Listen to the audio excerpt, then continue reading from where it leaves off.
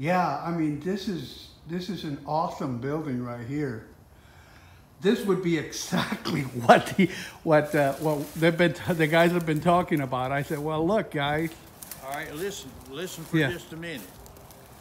If you want to do this, you get some beams and lay across to about, about six of them across. And you take and cut these six bys right down to the floor, just cut them. Mm-hmm. Okay, jack the thing up and put, put your cross beams across it. Then you can get a car hauler and see somebody can get a permit for a, say fifteen wide